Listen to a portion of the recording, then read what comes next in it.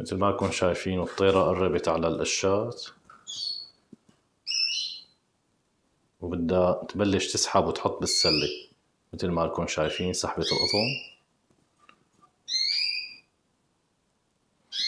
وقعتها. أوكي يا شباب يا صبايا هلا نحن وصلنا على البيت. وهلا حنفتح الكرتونة ونحطهم بالقفص هي يعني هلا مبدئيا بس بدي أحطهم أنا بدي ارتاح مو هن لأنه صار لي طالع من البيت من الساعة شي 11 وهلا شوفوا قديش الساعة أربعة إلا ربع. كان مشوار شوي بعيد لحتى حسنا نجيبهم. هلا بس خلونا نحطهم بالقفص وبعدين نشوف شو بدنا نعمل. هاي الطيرة اللي حكينا عليها.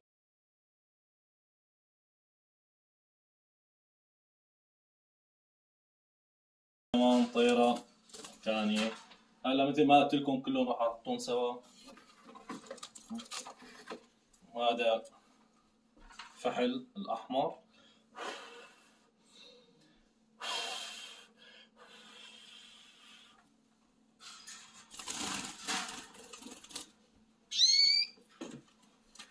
وهذا فحل ثاني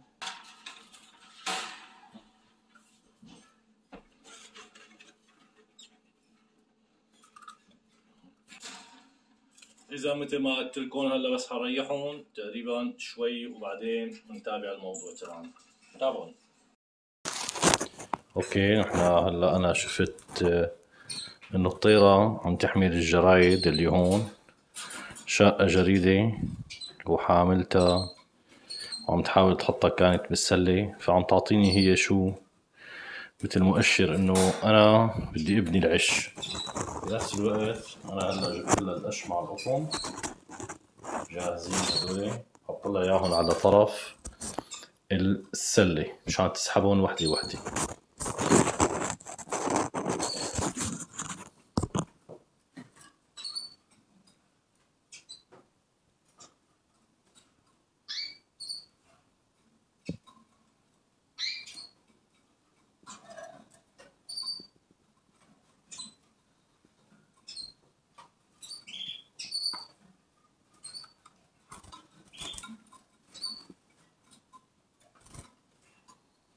طبعا مشان ما تكبون أحسن إنه ينحط قسم قسم بس أنا مشان ما ضايقون بحب أحطه كتير حتى ما كل شوي وفوت لا مشان ما كل شوي فوت لعندهم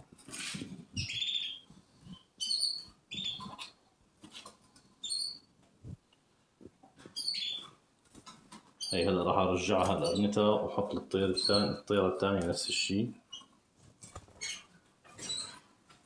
حاول اقطع يعني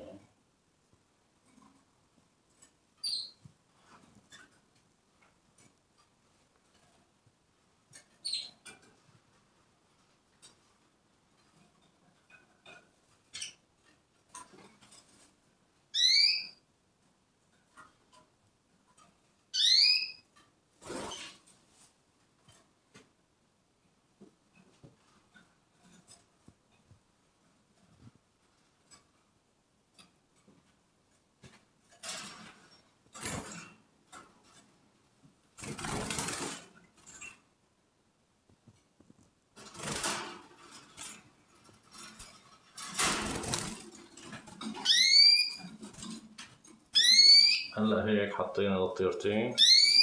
وخلينا نراقبهم شوي من بعيد. خلينا نشوف إذا بدهم يسحبوا القشات ولا لا. طبعا حبايبي هلا مثل ما لكم شايفين نحن جهزنا القفص وظبطناه. حطينا الأكل والمي وهي السلة. طبعا الطيرة البنية نحن بنسميها بالشام أو بسوريا خلينا نقول. هون عند الأجانب طبعا لها اسم تاني. هاي هون الطيران هاي بدنا نحاول نعطيها واحد من فحول الحمر. أنا بدي أعطيها هذا الفحل الأحمر. كمان زبطنا له كل شيء أكل ومي بدنا نشوف شو الله ميسر معنا.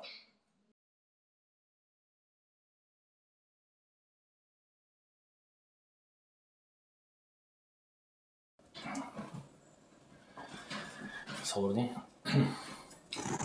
يا حبايبي مثل ما شفنا نحن امبارح حطينا القش وحطينا آه، وزعناهم على القفص اليوم بدنا نلاحظ شغلة إنه الطيرة مثل ما حكيت أنا صغيرة بكرية لسه أول مرة بدها تتزوج فما عندها لسه خبرة بالموضوع. لاحظوا وين حطت القشات؟ حطت القش بالمأكلية مع إنه قدامها السلة ولكن حطتهم هون. معناتها في غشمنة بالموضوع لأنها لسه صغيرة. هلأ أنا راح أفك لها اللبادة المحطوطة وراح اصغر العلبة تبع المأكلية لحتى تعرف حالها وين بدها تلف. بصراحة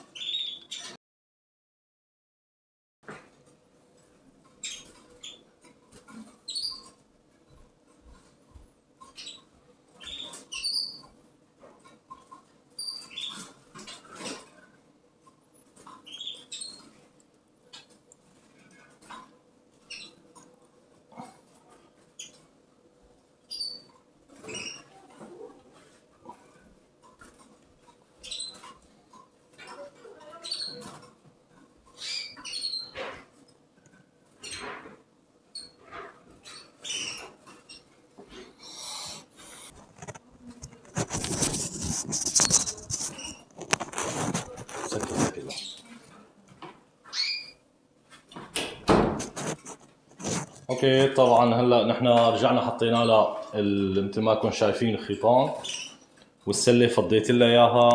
وهلأ بدي حراقبها مرة ثانية مثل ما حكيت أنا في عندي كاميرا هون. فهي كاميرا مراقبة بشغلها أنا دائما وبتابع المجريات اللي بتصير من خلال الكاميرا. okay بنتابع مع بعض. مثل ما كنتم شايفين الطيرة قربت على القشات. وبدها تبلش تسحب وتحط بالسلة مثل ما كنتم شايفين سحبت القطن. وقعتها. طبعا إذا الطيرة ما عندها خبرة أول شي بتزتهم كلهم على الأرض. يعني بتعذبنا من تم من قيم وما نحط لحتى تعرف إنه هدول بدهم نحط بالسلة.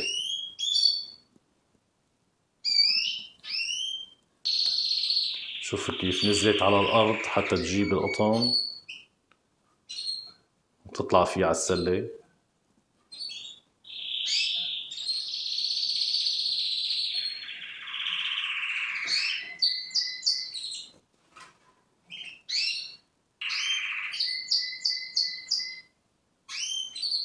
طبعا كل ما كان في تغريد أكتر فهذا محفز لحتى الطيرة تبدي عشها أسرع.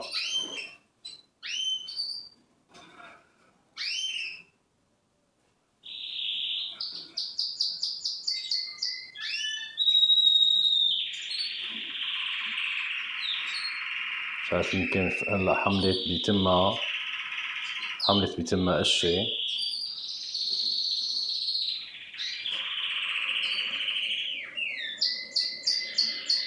بس لسه محتارة وين بدها تحطها بالمأكلية ولا بالسلة؟ هاي لأنها بكرية لسه بتكون غشيمة.